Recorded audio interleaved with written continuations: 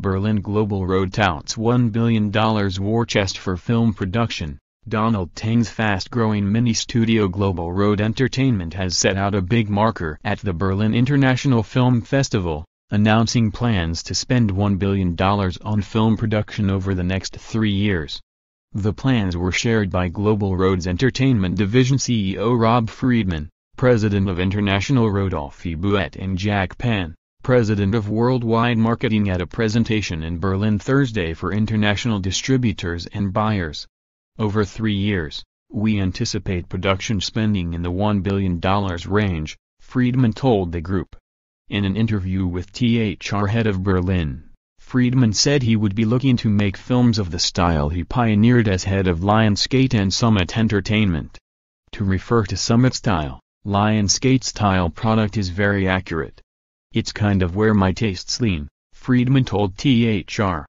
After two years of assembling assets through acquisition, Global Road, which combines the production and sales group Sim Global and IM Global Television and U.S. theatrical distributor Open Road Films, is now gearing up for full-scale production.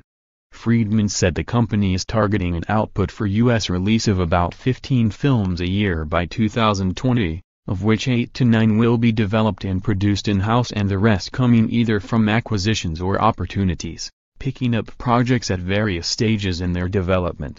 For its own development slate, Global Road is looking to do 1 to 2 $100 million pictures per year and 1 to 2 $20 million films, with the rest in the mid-budget range of between $30 million to $50 million.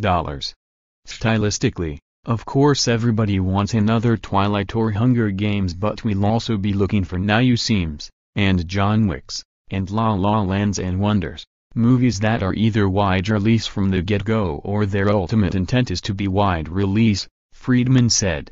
Buyers attending the presentation told THR they were impressed by the scale and ambition of Global Road's strategy. They are definitely one to watch, said Benjamin Emernick Voges managing director of E1 Entertainment Germany. There are very few of these big films in the market right now and there are a lot of buyers looking for them. Global Road could be landing at just the right time for the independent market, which has been starved of big indie tentpoles of late.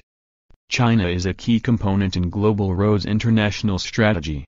The group has a distribution license for the Chinese market, making us pretty unique says Friedman, and plans to directly release all its own productions in China. One of the first will be the Blake Lively spy thriller The Rhythm Section, which Paramount is handling in most of the world but which Global Road will bow domestically and in the Middle Kingdom. This story first appeared in The Hollywood Reporter and number 39 semicolon s February 16 daily issue at the Berlin Film Festival.